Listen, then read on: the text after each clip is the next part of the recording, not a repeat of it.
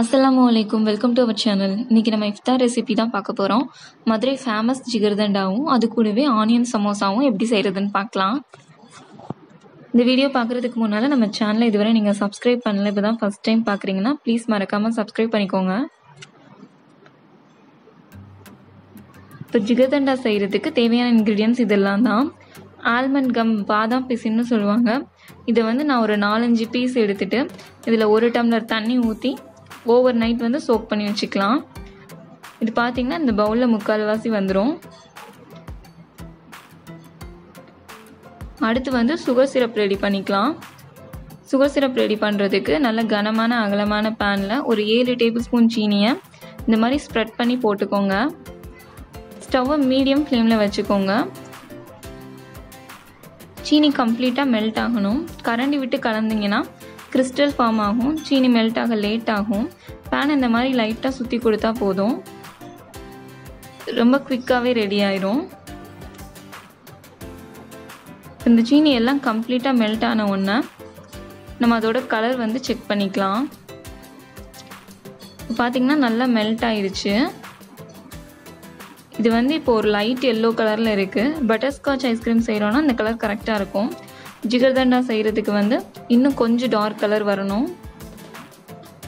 High ஃப்ளேமில் வச்சிடாதீங்க. பான் ஆகிற ஸ்மெல் வந்துடும் மீடியம் ஃப்ளேமில் வச்சுட்டு மெல்ட் பண்ணிக்கோங்க. இப்போ கலர் நல்லா டார்க்காக வந்துருச்சு.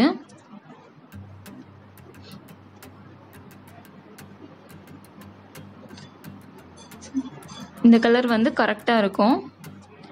இந்த மாதிரி ப்ரௌன் கலர் வந்த உடனே ஸ்டவ்வை ஆஃப் பண்ணிக்கோங்க. ஸ்டவ் ஆஃப் பண்ண உடனே இந்த சுகர் சிரப் பார்த்திங்கன்னா கெட்டி ஆயிரும். அது கெட்டி ஆகாமல் இருக்கிறதுக்காக நான் ஒரு கால் டம்ளர் நார்மல் தண்ணி வந்து சேர்த்துக்கிறேன்.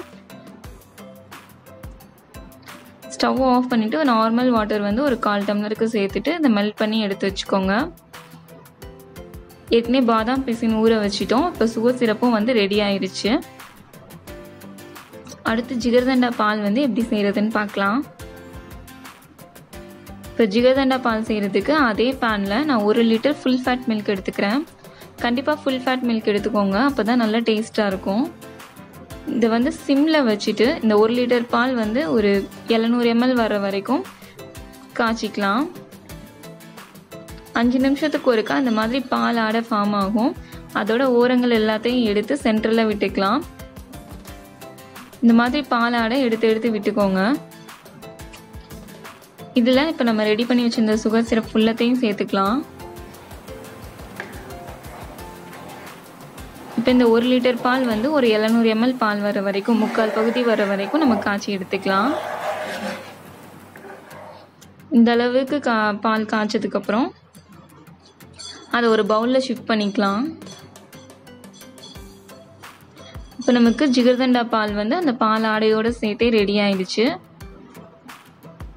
இப்போ ஐஸ்கிரீம் செய்கிறதுக்கு அதே பேனில் இந்த பாலில் இருந்தே நம்ம ஒரு கால் பகுதி பாலை சேர்த்துக்குவோம்.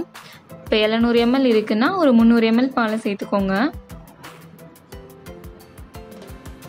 இந்த முந்நூறு எம்எல் பாலுக்கு ரெண்டு teaspoon sugar syrup nannari syrup சேர்த்துக்கலாம்.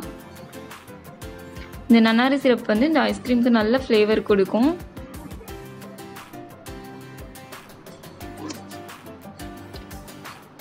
ரெண்டு டீஸ்பூனுக்கு சோள மாவு கார்ன்ஃப்ளவர் எடுத்து கொஞ்சமாக தண்ணி இல்லைன்னா பால் சேர்த்து கெட்டி தட்டாமல் கலந்து எடுத்துக்கோங்க.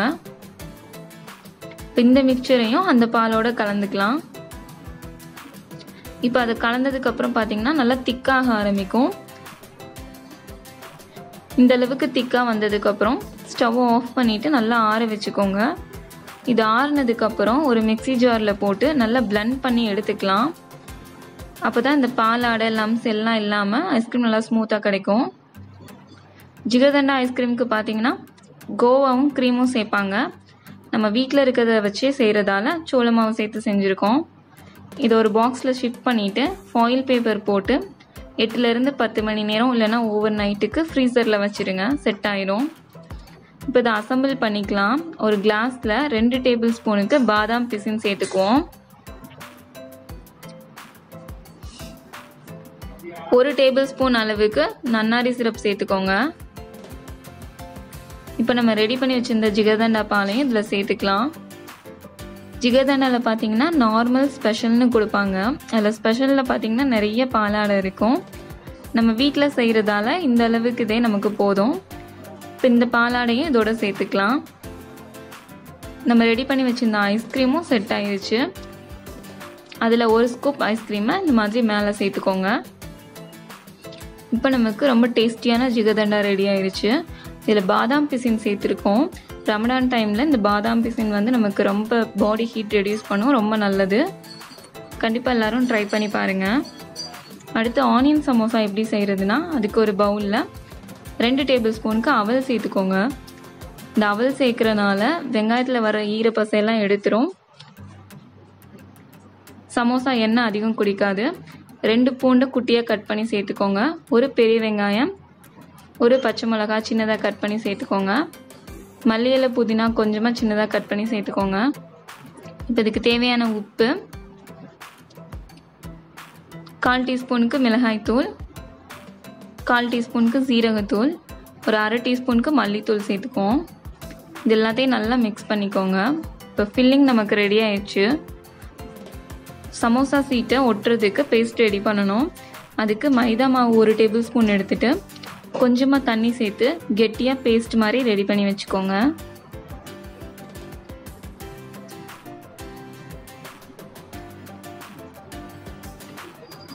இப்போ சமோசா செய்கிறதுக்கு இந்த மாதிரி சமோசா சீட்டு எடுத்துகிட்டு ட்ரையாங்கிள் ஷேப்பில் இந்த மாதிரி மடிச்சுக்கோங்க. இது அப்படியே ஆப்போசிட்டில் ஃபோல்ட் பண்ணிங்கன்னா ஒரு கோன் ஷேப் நமக்கு கிடைக்கும். இப்போ இந்த கோன்குள்ளே நம்ம ஃபில்லிங் வச்சுக்கலாம். ஒரு ரெண்டு டீஸ்பூனுக்கு அந்த ஃபில்லிங் வச்சுட்டு சுற்றி இருக்கிற அந்த பா அந்த பாட்டில் இந்த பேஸ்ட்டை வந்து அப்ளை பண்ணிக்கோங்க. இதை திரும்ப ஆப்போசிட்டில் நம்ம ஃபோல்ட் பண்ணோன்னா நமக்கு ட்ரையாங்கிள் ஷேப் கிடச்சிரும். மீதம் இருக்க பாட்டை அப்படியே ஃபோல்ட் பண்ணிடுங்க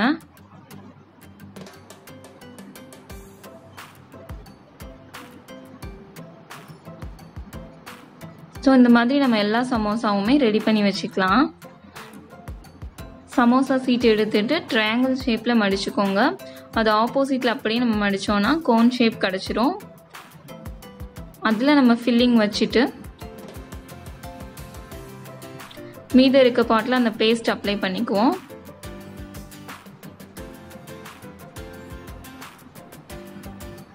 எகெயின் இதை வந்து ஆப்போசிட்டில் அப்படி மடிச்சிங்கன்னா ட்ரையாங்கிள் ஷேப் வந்துடும் இப்போ எக்ஸஸாக இருக்க பாட்டை அப்படியே மடிச்சு விட்டுடலாம். இதே மாதிரி எல்லா சமோசாவும் ரெடி பண்ணி வச்சுக்கலாம். சமோசா சீட் வந்து நீங்கள் கடையில் வாங்கினாலும் சரி ஏற்கனவே நம்ம சேனலில் அப்லோட் பண்ணியிருக்கோம். இல்லை அதை பார்த்து நீங்கள் வீட்டில் ரெடி பண்ணிக்கிட்டாலும் சரி. எண்ணெய் நல்லா சூடானதும் மீடியம் ஃப்ளேமில் வச்சுட்டு ஒன்று ஒன்றா போடுங்க. ரொம்ப சூடான எண்ணெயில் போட்டால் வெளியே வந்துட்டு பபிள்ஸ் பபிள்ஸாக ஃபார்ம் ஆகும். மீடியம் ஃப்ளேமில் வச்சுட்டு போட்டோன்னா கரெக்டாக இருக்கும். இப்போ நமக்கு சமோசா நல்லா கிறிஸ்பியாக ரெடி ஆயிடுச்சு.